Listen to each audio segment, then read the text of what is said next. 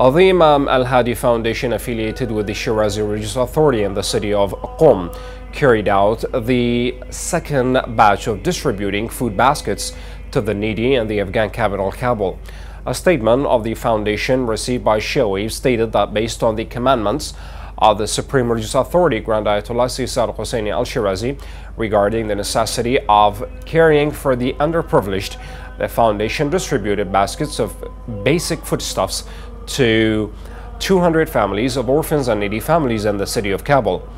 The statement added the foundation also distributed heating devices to the needy and the city of Ghazni, Afghanistan in compliance with the commandments of the of His Eminence and heaters were distributed to more than 100 families of orphans. Also in the context of its charitable activities, the Imam Al-Hadi Foundation dug a well for drinking water in the No Abad district of Ghazni city in Afghanistan.